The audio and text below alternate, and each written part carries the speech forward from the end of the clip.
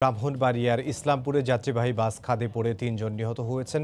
আহত হয়েছেন অন্তত চৌদ্দ জন এই মুহূর্তে ঘটনাস্থলে আছেন সহকর্মী উজ্জ্বল চক্রবর্তী। সরাসরি যাব তার কাছে। উজ্জ্বল।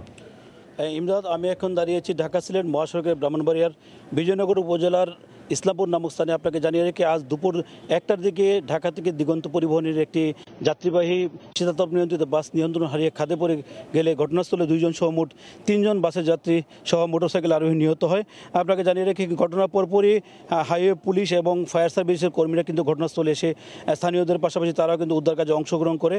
আমাদেরকে ব্রাহ্মণবাড়িয়া খাটিয়াতা হাইওয়ে থানার যে ওসি আছেন তিনি আমাদেরকে, মাহবুব রহমান, তিনি আমাদেরকে নিশ্চিত করেছেন তিনজনের মৃত্যুর বিষয়টি। আমরা তার কাছে জানতে চে- চেয়েছিলাম, যারা মারা গেছেন তারা আসলে কারা তিনি জানিয়েছেন, একটি মোটরসাইকেলকে সাইড দিতে গিয়ে মূলত যাত্রীবাহী যে বাসটি সেটি নিয়ন্ত্রণ হারিয়ে পাশের খাদে পড়ে যায়।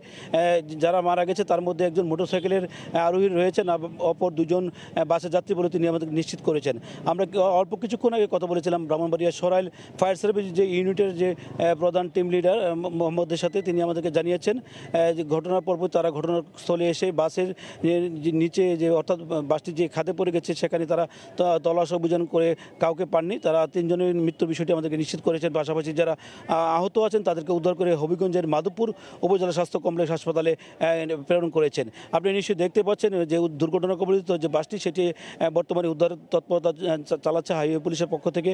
এখানে কিন্তু উৎসুক জনতা আছে। আমরা বেশ কয়েকজন উৎসুক জনতার সাথে কথা বলছিলাম। তারা বলছেন যে বিকট শব্দে বাসটি যখন নিয়ন্ত্রণ হারিয়ে পাশের খাদে পড়ে যায়, তখন তারা স্থানীয়রা বিভিন্ন বাজার আশেপাশে যে বাজার আছে সেখান থেকে এগিয়ে এসে তারা কিন্তু উদ্ধার কাজে অংশগ্রহণ করেন।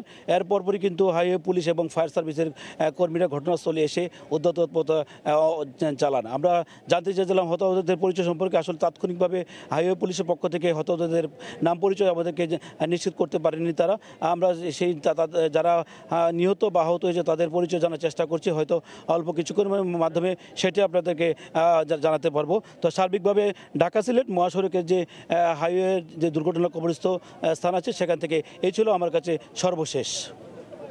ব্রাহ্মণবাড়িয়া থেকে যোগ দিয়েছিলেন সহকর্মী উজ্জ্বল চক্রবর্তী। তিনি জানাচ্ছিলেন, বাস খাদে পড়ে তিনজন যে নিহত হয়েছেন এবং চোদ্দ জন আহত হয়েছেন, তারই সবশেষ খবর।